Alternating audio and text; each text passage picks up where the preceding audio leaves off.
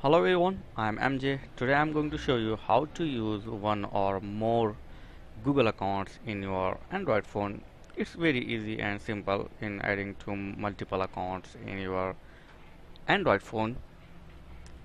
So there is two there are two ways to create a new or existing account in your Android phone. First is you can go to setting, phone setting.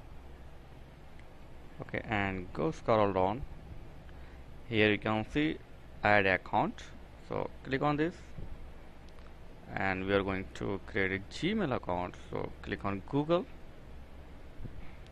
So here you can see do you want to add an existing account or create new account? So we have already existing account. So you can click on existing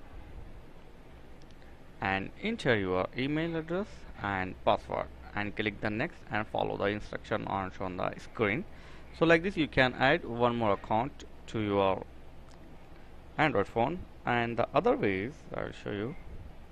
Just go to your Gmail. Okay. So in the Gmail just click on setting. Here. And here you can see the email address showing. This is one my one of my email address. So just extend this by clicking here.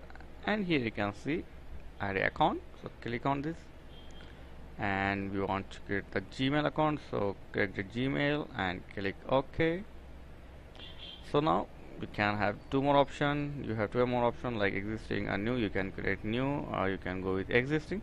So after you create this here it will show the two accounts and you can default any accounts of like you are using multiple two three or four gmail accounts in the same device. So you can manage easily.